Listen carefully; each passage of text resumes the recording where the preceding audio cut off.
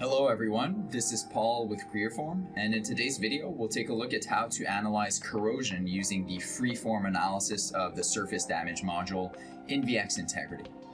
Now the reason we want to use freeform in this scenario is that we have curvature in multiple directions, and so typically using just a pit gauge analysis may not work as correctly because the pit gauge might not sit appropriately.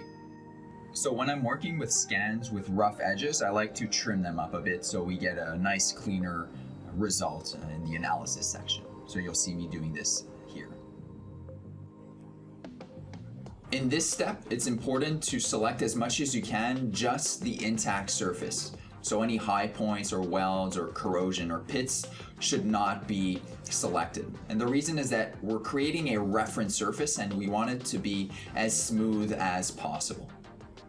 So notice here I can reduce the selection a bit if I want to make sure I'm not capturing any of the rougher edges. And let's preview the surface now.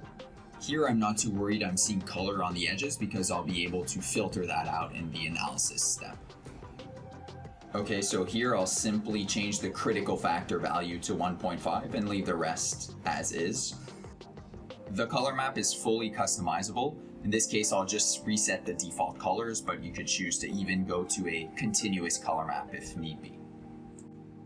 In this step, I want to add a maximum deviation of 1.5 in order to match the critical factor we set previously. And finally, in this step, I'm going to choose not to add a reference. There we go. So we have one feature identified. We can see the maximum deviation is around 3.4. And if we want to, we can go ahead and add a few uh, depth annotations for the report. So if you enjoyed this video, go ahead and drop us a like and consider subscribing to our Creaform channel. This was Paul, and I'll see you in the next video.